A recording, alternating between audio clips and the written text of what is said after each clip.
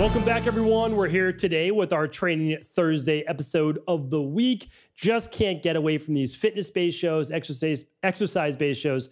Uh, love that our community is interested in hearing about how movement, natural human movement, and exercise fits into the equation about living a longer, healthier, better quality of life. So today we're going to tie in how to customize your workout programs based on your hormones. So this is especially going to be geared to those people maybe with higher levels of testosterone, higher levels of cortisol, and maybe even what's called estrogen dominance. This can go for both men and women. So men on the higher side of testosterone, men on the higher side of cortisol, men on the higher side of estrogen conversion, women same exact thing, especially when, with women with PCOS or even lower levels of thyroid. So all of this ties together and the reason how it happens is this when we are adding exercise to our lifestyle, which by the way, everybody should do, and it should just be customized based on your needs, meaning there is no one size fits all. Uh, we do so much lab testing that we can look at this at a little bit of a deeper level. It doesn't mean that any exercise expert out there is wrong in their recommendations. The problem is they can be wrong in the recommendation per person that they're saying it to. So let me give you an example. When I went overseas to do all of my internships for my doctoral studies, I did that for a reason. And the reason is I planned on being able to come back after about, well, I can tell you exactly how many hours it was. It was 2,375 hours uh, of internship hours. And I knew by, by the end of that that I would be able to just say, this is the best form of natural medicine. I've seen it work now all over the world, and um, and I lived it. You know, I literally was there. I breathed it, and it worked great. Well, you know, that was my goal, right? So I was naive. I um, I just expected that I was going to be able to find the one because I was going to be studying in India and Sri Lanka, and I was going to be studying in China. I was going to be studying in Europe, and I was going to be studying all over the United States. I was in Chicago. I don't even know where else I was. I was all over, and lo and behold, I knew almost immediately that there is no one best form of medicine. So again, I studied bioregulatory medicine, Ayurvedic medicine, traditional Chinese medicine, traditional naturopathy, uh, functional medicine, uh, all different forms, herbalism, you name it. So, and they're all amazing. They really are. And there's even a time and place again for conventional medicine. There's a time and place for everything. The problem is that no one form of medicine works for every individual in every circumstance. And that's why when you use a truly integrative approach where you can combine all of them, except the pharmaceutical part, you always refer out to your PCP or whatever endocrinologist, whatever ologist you need, then you're going to be able to help every single person all the time. So when people always ask, have you ever helped with someone with this or with that or with this? And the answer is yes. And the reason is that we don't have a system of medicine that defines you as an individual and your diseases. We look at underlying root causes and then we help from there. So let's bring that back now full circle. There is no one recommendation, exercise recommendation for every human alive. Ayurveda is the most complete form of medicine. You could make an argument that that can help all of the people all the time. The problem is, it could take a long time to help that person. And the reason is that you don't always know, you don't always know based on assessments exactly what's going on with the individual. And again, I love Ayurveda. I'm a huge proponent of naturopathy. I'm a huge proponent of Ayurveda. However, as my mentor taught me, who learned from Dr. Vasant Lad, like literally, when I look at it, it's just amazing. Like Dr. Vasant Lad came to the US, my mentor wrote the textbooks for him, meaning it's his words, taught in classes. She translated, she wrote it down, wrote those textbooks she taught me. I mean, it's absolutely amazing that I had the privilege of, of being able to have a mentor like that. But here's the thing as amazing as Ayurveda is, you can figure out it, you can figure out the root cause faster with at-home lab testing. So that's where you know functional medicine um, or modern day you know naturopathic medicine really comes in. That's that's the ideal because then you can use your Ayurvedic principles. Again, you're just trying to get there faster. The goal is to help the end person, right? So always like have this debate with other doctors. listen, what are we trying to do here? Are we arguing over what's the best form of medicine? Like, are we really going to do that? That's that's what we're doing here. Because I thought the goal was to help the patient, right? Or the wellness client in natural medicine, right? That's the goal. So is the goal an ego battle or is the goal to help people? Because sometimes when you're talking with other doctors or practitioners or other people, I can't figure out the goal. I don't know if they're trying to just elevate themselves or their form of medicine, or they're trying to help the end of an individual. So, in my goal, again, I won't be here forever, neither will any one of us. My goal is to help push forward what we know works. So now when we're talking about, let's just take PCOS, when you have PCOS, there, and I'm going to go through this, so definitely stay with me on the podcast the next few weeks. I'll go through PCOS. There's they're essentially they're narrowing it down to four different forms of PCOS. Um, they're looking at how the gut and certain bacteria, which are too low, are um, aiding in PCOS, meaning like not in a good way, vitamin D. I'll go through those studies. I think they're pretty fantastic. I mean, I, again, this is why I love Ayurveda, love TCM, love bioregulatory medicine, love all the older forms, traditional naturopathy, but also I love modern day science, right? We can use both. We don't have to um, choose what's the only form of medicine we're going to use. So let me get into the topic at hand now. If we're defining PCOS, and again, you can find out what type of PCOS you have. It's, it's actually very, very easy. Again, this is where you take the guesswork out of it. So with PCOS, you either have high testosterone, you might have high DHEA, you might have high cortisol, you might have high estrogen or at least estrogen dominance, which is typically um, calibrated by having low progesterone. You might have low vitamin D. You might have gut issues. You might have low thyroid. Okay, so like and usually you're going to have high levels of inflammation for for various other reasons. Well, you can literally test all of those things except for gut function with one lab, like literally one lab. Um, you can run it with any naturopathic doctor that you want. You can run it with an integrative health practitioner level two. So again, please do feel free to do that. It's going to cut your learning curve down by what forever, right? Because if you never find out why, then you're going to always be doing trial and error. So it will save you at least six months to a year. So you can run that. It's called the stress hormones mood and metabolism test. You can find any lab I mentioned. We open source all of our labs at stephencabral.com forward slash labs. But let's say that you are high testosterone, high cortisol. That's that's fairly normal with normal with PCOS, fairly normal, and a lot with pizza-based women as well. So let's look at this, and this can go for guys as well. It's not just women with PCOS; it can go for guys with higher levels of testosterone. And, and they can have their own issues. So they can have higher levels of aggression, they can have higher levels of hair loss, um, they can have more stress, poor sleep, etc. Now, there are benefits to high testosterone, but there's also the downsides, right? What are the benefits? Well, more ambition, more drive, higher libido, uh, lead, typical leader, like person who's at the front of the pack.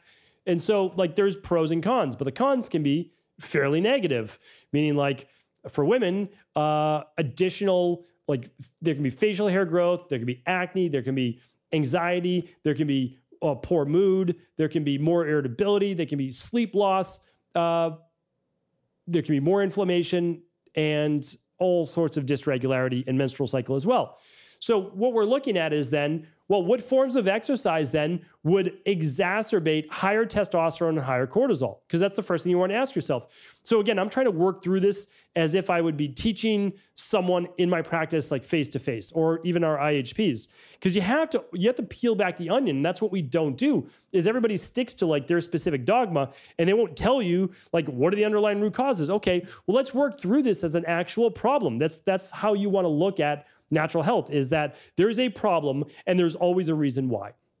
So there can be multiple reasons why. Let's say, again, we just learned this person has high cortisol and high testosterone in a PCOS based course, uh, uh, or maybe they have higher levels of estrogen as well, because testosterone higher is leading to higher levels of estrogen. All right, let's work with that. So, and in men, that can also uh, affect prostate inflammation and breast tissue growth in men. So let's say that man or woman you're dealing with PCOS or side effects of high testosterone in men. So, what we don't want to do are exercises or anything in life that's going to exacerbate higher levels of cortisol. Well, what's cortisol? Higher levels of stress right? So higher levels of stress could be induced by normal things. Sometimes we even think they're good, like fasting, right? Well, fasting's a good thing. It's a really good thing. But when you do too much of it, what do you do? Well, you increase cortisol levels. You can increase cortisol levels, especially if blood sugar levels drop. That's its main job. Again, people forget that the main job of cortisol is as a glucocorticoid. It's literally built in there. Well, what's the gluco part? Well, when your blood sugar levels drop, your body will produce more from what's called the adrenal uh, cortex, it will produce more cortisol. The technically your brain, your hypothalamus tells your pituitary gland to tell your adrenals what to do, but it's because it's getting the signal that there's dropping blood sugar. Okay, so if there's dropping blood sugar, how does your body keep from passing out? Well, it has to maintain normal blood sugar. Okay. So if it does that, it releases more cortisol. And hopefully it releases just the right amount, but oftentimes it's a higher stress in the body because you're not just dealing with lower blood sugar. You might be dealing with getting the kids ready for school or stuck in traffic or giving a presentation at work or even doing a fasted workout. Good for some people, not so good for others. So that's just one example. Well, really hard workouts are another example high intensity interval training or pushing yourself to failure with each set typically will raise cortisol if not overdone and will typically raise testosterone if not overdone meaning like it will give you a beneficial effect. So a lot of people feel like they get a relief from their allergies or they get a, boost in energy when they do their exercise. Yeah that's true. It's absolutely true. If you don't take it too far you get a boost in cortisol you get a boost in norepinephrine uh, a dopamine you get a boost in testosterone. That's a good thing right? Because now that those your natural norepinephrine helps with your inflammatory processes like allergies, etc., asthma. But when overdone, obviously, it depletes you. So let's think about that. Well, if you're already dealing with high testosterone, high cortisol, and higher levels of estrogen dominance, do you want to do really hard weight training workouts or high intensity interval training workouts? The answer would be no. That would be detrimental to your current dis ease. That means imbalance of the body, right? The balance in, is not an ease. So what do we do? Do we say those workouts are bad? No, of course they're not bad. We recommend high intensity interval training and weights and, and pushing yourself to failure all the time. Is this recommended for this specific group of people? No, it's not. And that's why we have to understand there's no keto for everyone. There's no whatever diet for everyone. There's no workout for everyone. You understand, is my body balanced? Yes or no? If your body is balanced, then you can get away with a whole lot more, which is why all of these gurus at 22 years old, I used to be one of those people, so I totally understand. Um, you're looking through the lens of a 22 year old or 25 year old personal trainer or nutritionist you can get away with so much in your 20s. And the reason is that you're pretty much balanced. I wasn't, so I learned at a younger age that what what it feels like to be you know 85 years old because my body was completely deteriorated was completely um, dilapidated literally is completely broken down so what am i sharing with you well if you're dealing with higher levels of aggression or testosterone or estrogen dominance or pcos or high levels of cortisol you don't want to do activities that would exacerbate that condition until you get it under control until you get it balanced. So, a good PCOS based workout would be something that involves some cardio, which would modulate cortisol levels, modulate stress levels. Stay with me for a moment. I'll talk to you about the weight training for PCOS in just a moment. And here's why. I've given this every single Friday on my podcast. I give you two research studies. One of them I gave you that one of the best ways in order to improve your overall stress resilience was aerobic based work. Now, I don't love to run. I don't love doing cardio. I would much rather be weight training. That's the truth. I would be much rather doing sandbag workouts, uh, battling ropes. I'd be swinging a steel mace. I would be, you know, climbing a rope, like anything, flipping tires. Like I'd rather do those types of workouts. I enjoy that. I don't enjoy going for a jog. I don't mind walking, like to walk. But here's the deal the science is, has always been really positive on aerobic based exercise unless you overdo it. So people are like, no, aerobic is terrible, creates micro tears in the heart. Yeah, if you're doing marathons, yes. But there's somewhere between jogging for a mile or two and 26 miles, right? There's a little bit of difference between those two. We just like to overdo everything in our, in our Western based mindset. So, you doing 20 or 30 minutes of cardio is a good thing. You build up over time. Now, again, if you're not doing any cardio, you just start with walking.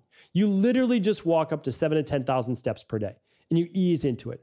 That will build up your overall stress resilience. That's a good thing. And it also helps with weight loss because one of the major factors with PCOS is usually some type of um, we call it toxic water weight, water retention from inflammation, or it could be adipose tissue increase, so fat gain. So we want to look at that walking tremendous some light jogging tremendous or light any type of aerobics tremendous. Uh, if you find yourself more than 30 50 pounds overweight you may not want to start with jogging. It's probably not great on your joints. You might want to do something uh, like the upright bike. You might want to uh, and i'll be talking about that i think more tomorrow. You might want to do even a rowing machine. Like you can do an elliptical if you want. Elliptical is not my favorite that's for sure. But um, you could start there, right? It's a place to start. You always start with where you're at. Now, in terms of weight training for PCOS or higher testosterone, nothing wrong with that. You can still do it. What you don't want to do, though, is a high intensity interval training excuse me, or push yourself to failure, meaning like last rep, squeezing out, grinding out that last one. Why? That's where you're gonna, yes, you'll get a ton of benefits. There's no, no doubt about it. But right now, that's not what your body wants. Right now, your body's not looking to produce, or you don't most likely want for your body to produce higher levels of androgens, right? Higher levels of testosterone, maybe even DHEA and higher levels of cortisol because you're going to imbalance your blood sugar to an even greater degree because blood sugar i didn't mention that earlier is one of factor in for pcos as well. So let's let's take it back. What do we want to do? Well we want to do aerobic based cardio a couple days a week. We want to do walking every day. And when you do your aerobic cardio that can count as some of your walking your 7 to 10,000 steps per day. Then what do you want to do for weight training? Well weight training 2 to 3 times a week what does your weight training look like? Well, it probably looks more like what I talked about last Thursday, which is metabolic conditioning workouts, Metcon workouts. So if you didn't check that out, that was actually two weeks ago in episode 2302. So just head on over to stephencabral.com forward slash 2302. If you want to learn more about PCOS, go to stephencabral.com forward slash podcast. Just type in PCOS. Um, certainly can chat with you more about that. Reason why I'm talking about it a little bit more one out of 10 women are going to suffer from PCOS based symptoms. Um, and I want to be able to help to a greater degree. We see it so much in our practice. So if you're doing a lighter weight based workout, that does not mean pick up light weights. It just means like you're not going to failure. Uh, and you can do it circuit based style. You're going to get the best of all worlds. Some lighter aerobic cardio, some lighter weight based training. That just means not high intensity. Doesn't mean light weights, not just higher, not higher intensity. And then you're going to be able to repair your body based on what you found, whether it's blood sugar, vitamin D, thyroid, estrogen, testosterone, like cortisol you're going to be able to figure it out. Once you figure out your body's balance, then you're going to ease into what? Well, you're going to ease into probably just a little bit more weight training if that's what you choose to do, or maybe you found your sweet spot for your body and that's exactly what you're going to look at. So, hopefully, this was helpful. Again, I'm going to do more follow up shows on PCOS. We've got a lot of requests. I want to be able to demystify this. I just want you to know there's always an answer. There really is. You're able to test for that under uh, underlying answer, then you're able to customize a protocol built based on your imbalances. So, again, if this show was helpful, please do feel free to share it with anyone else you believe it could serve. And I'll be back tomorrow on another Cabral Concepts.